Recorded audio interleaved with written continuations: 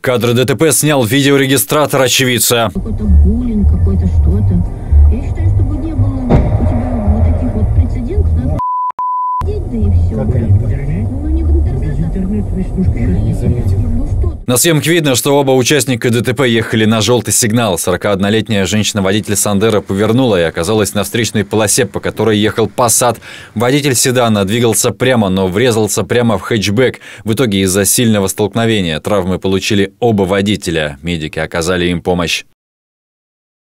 В поселке Юрья в результате ДТП погиб пешеход. По предварительным данным, на улице Октябрьской 35-летний водитель «Октавии» наехал на 67-летнего мужчину. Он шел по краю дороги. От полученных травм пострадавший скончался. Сейчас по факту этой аварии следователи проводят проверку. В поселке Лебяжье произошло ДТП с участием пьяной женщины-водителя. По предварительным данным, 36-летняя нарушительница на Mitsubishi Lancer наехала на двух женщин 55 и 63 лет.